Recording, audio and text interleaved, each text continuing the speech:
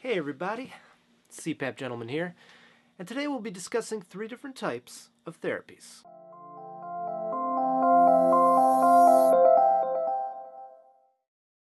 A B C D E F G. Dun, dun, dun. For those of you who at one point or another have taken a CPR course, you probably learned about the ABCs of basic cardiac life support.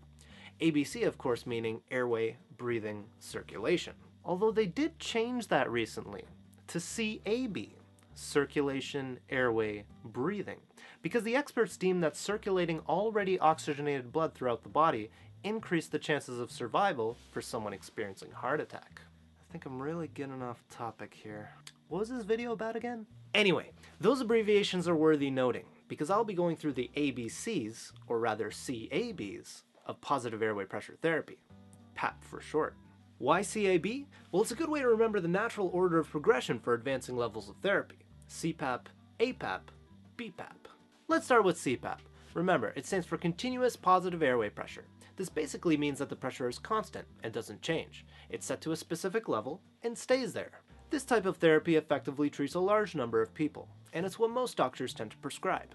So let's look at APAP. APAP stands for automatic positive airway pressure. This type of machine is usually given to women because they're not able to drive manual.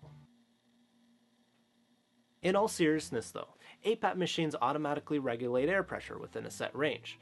They're typically prescribed to anyone for the following reasons. 1. You require high air pressures for optimal therapy, and you're having difficulty tolerating this using a straight pressure CPAP machine. 2. The amount of air pressure you need varies significantly based on the position you sleep in. On your back, your pressure may increase, while on your side, it may back off a little. And then you've got BPAP, which stands for Bilevel Positive Airway Pressure.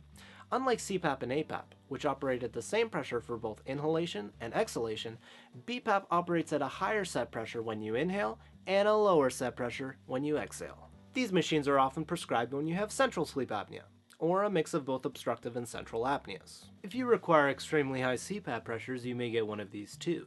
They're also the most complex, sort of like the female species. And that pretty much covers the three major types of PAP therapies. Thanks guys for watching, and if you liked it, please hit that subscribe button so you can see more of this. My face.